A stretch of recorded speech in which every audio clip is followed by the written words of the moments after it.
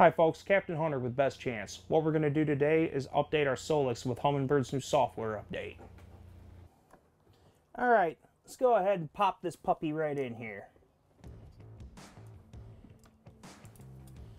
This card lives inside this unit, so I'm going to go ahead and close it back up and fire this fella up. I've already gone ahead and downloaded the software onto the SD card. I took it home, went to the website. You just follow the steps. An alternate option is to download it through your cell phone, but we'll go over that another time. So she's ready. Let's go ahead and hit confirm. This is my designated fish finder, so that's why this pops up all the time. All right, let's go ahead go to the software update. We're going to hit home. We're going to hit files. Now you can see right there where it's at.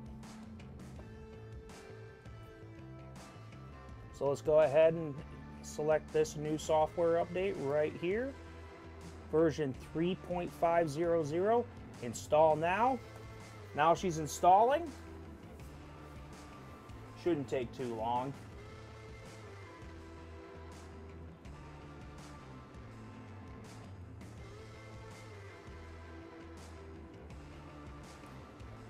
There we have her. She's gone ahead and restarted.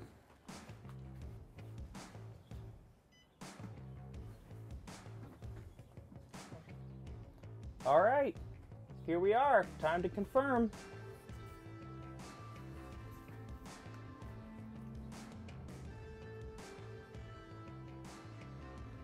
And there we have it. We have our new software update installed.